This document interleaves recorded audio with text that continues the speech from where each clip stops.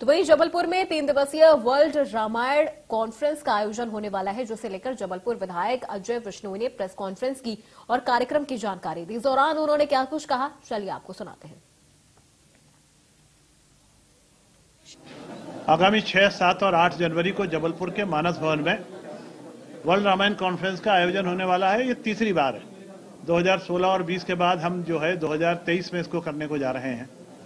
रामायण की ताकत को हिंदुस्तानी सब जानते हैं, उसकी सांस्कृतिक ताकत को भी जानते हैं, पर उसके विश्वव्यापी रूप जो है, उस रूप का दर्शन हम सबको यहाँ मानस भवन के मंच पर देखने को मौका मिलता है। इस बार फिर पंद्रह देशों के अनेकों प्रतिनिधि यहाँ पर आ रहे हैं, अनेकों विद्वान यहाँ पर आ रहे हैं। रामायण का पूरे विश्व भर में जिस तरीके से काम चलता है, उस पर जानकारी देंगे।